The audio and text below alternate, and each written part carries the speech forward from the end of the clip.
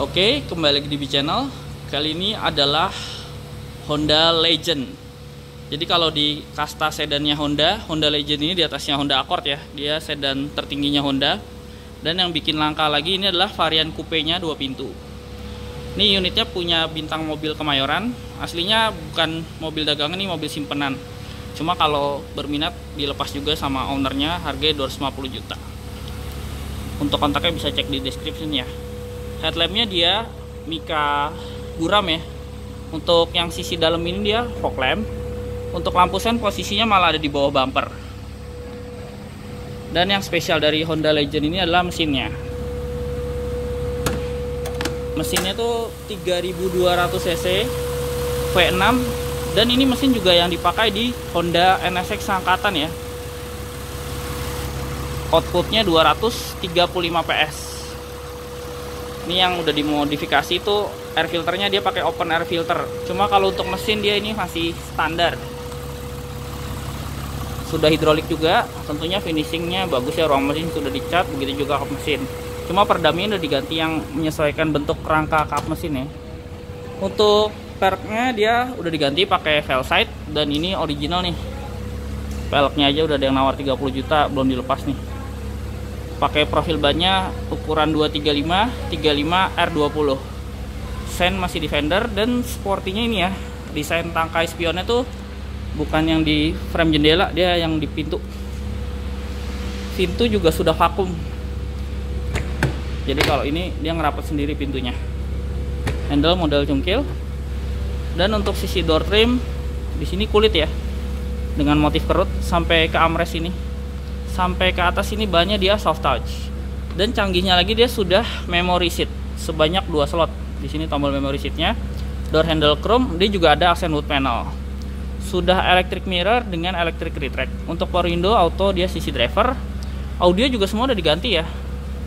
Total untuk modif audio ini aja habis 80 juta. Terutama nanti di sisi bagasi ini. Ini untuk buka tutup bagasi dia tombol dari sini. Ini ada lampu di pintu Nah, park brake-nya juga dia yang model injek. Untuk aktivasi injek, untuk rilis dia congkel nanti yang di sebelah kiri. Ini transmisi otomatis dua pedal. Di sini ada tuas pembuka kap mesin. Ada tempat koin, ini juga bagus dilapis bahan sejenis Bluetooth. Di sini ada headlamp washer ya.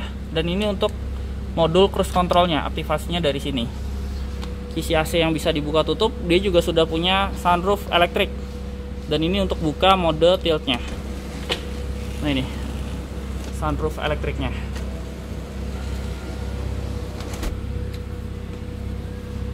Nah untuk cruise controlnya sendiri tadi modul utamanya di situ untuk menambah dan mengurangi kecepatan di sini ya.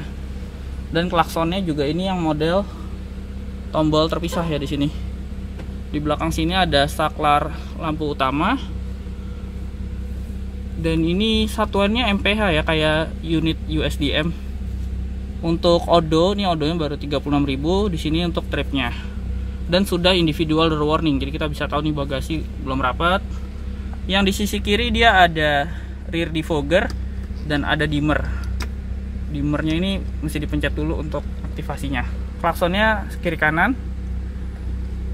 Airbag dual SRS airbag ya yang terlihat di sini ya dan ini pengaturan setirnya di sini ada unlocknya nih. Ini teleskopik tapi anehnya saya nggak menemuin pengaturan tiltnya ya. Jadi jadinya setirnya cuma teleskopik aja tapi belum tilt. Jadi malah kebalik. Biasanya kan tilt duluan. Nah ini. Ini untuk rilis park brake nya dari sini tuasnya. Di tengah ada jam digital ada hazard dan untuk fog lamp dia saklarnya dari sini. Serta AC nya sudah digital dual digital tapi belum dual zone auto climate ya. Dan dia ada heater juga.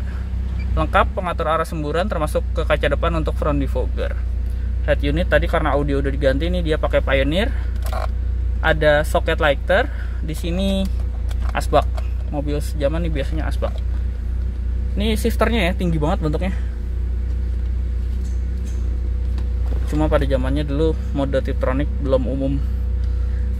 Nah ini sini belum ada mode Tiptronic di sini di wood panelnya ada tulisan legend warna gold. Barber legend. Di sini headlamp leveling ya unik juga di sini saklar untuk pengaturan headlamp levelingnya. Armrest kulit dan dia terbukanya ke samping.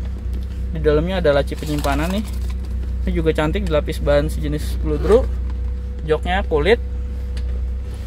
Dan di sini ada pengaturannya elektrik ya untuk slidingnya dan di sini untuk reclining untuk akses ke baris keduanya tapi masih manual.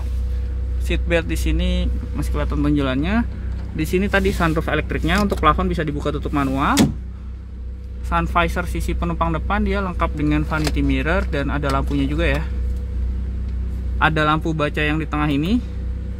Ini untuk on off nya atau masing-masing ada tombolnya masing-masing tuh yang kecil. Ini yang besar. Ini spion tengahnya lagi dicopot nih sun visor sisi driver juga lengkap dengan vanity mirror dan lampu. Ini airbag untuk sisi penumpang depan. Untuk bahan dashboard soft touch. Laci di sini dia unik ya ada tombol apa ini? Main. Oh untuk bagasi. Supaya bisa terkunci supaya tidak bisa diakses sembarangan bagasinya. Dia ada penguncinya juga dan sampai bahan ke laci ini dia soft touch. Oh dan ini pengaitnya agak susah nih sekarang kita lihat ke belakang. Untuk akses ke belakang ini dia bisa di reclining secara manual. Untuk pengaturan maju mundurnya tapi sini sudah elektrik. Dan recliningnya sudah elektrik juga ya. Seatbeltnya juga otomatis ini. Ada mekanisme elektriknya yang bisa narik ke depan. Di baris kedua nah ini. Di sini ada hand grip. Ini yang model lentur ada lampu baca untuk baris kedua. Seatbelt di sini rapi tertutup cover ya. Di sini juga ada bahan ini kulit. Sampai ke armrest ini. Dan uniknya kaca yang kecil ini bisa dibuka. Ada power window-nya sendiri. Pasti kalau kelihatan dari luar dipikirnya cuma kaca mati aja ya. Headrest dia fix ya kiri kanan. Tapi di tengah sini dia ada akomodasi armrest. Cuma masih belum ada cup holder. Dan legroom di baris kedua ini benar-benar tergantung dari kursi di depannya. Kalau ini kita majuin nah kalau dimajuin segini dia lumayan legroomnya di situ juga masih cukupan. Kita coba ke baris kedua. Kayak gini sih. Nah ini ngepas sih jadinya. Kalau mau lebih lega ini dimajuin lagi. Nah segini nih. Lumayan. Di sini ada power outlet untuk baris kedua dan di sisi kanan juga sama. Dia ada laci penyimpanan. Armrestnya ini kulit sampai ke sini kulit dan power window ya empat sisi ya. Nah ini. Benar-benar unik. Cara ngelipat kaca juga unik. Oke. Ini layout dari dashboardnya. Untuk lampu yang di bawah itu tambahan ya. Spion tengahnya ini yang lagi dicopot nih. Dia dari naik view nih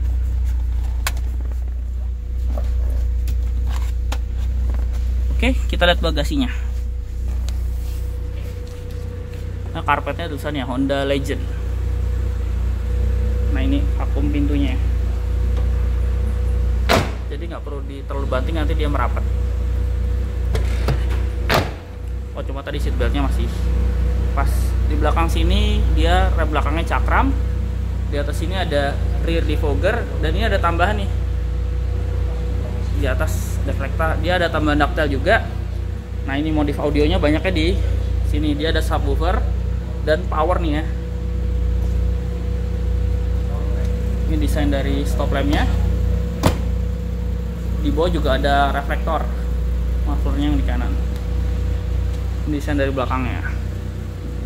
Sama kayak depan sih dia masih belum kristal multi reflektor untuk stop lamp.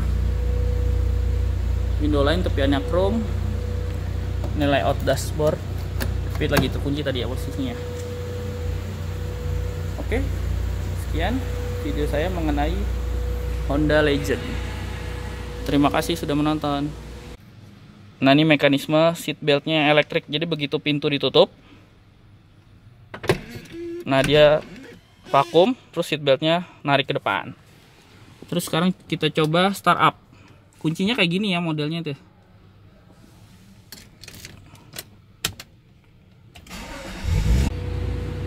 tadi pos posisi terkunci ya ini tambahan.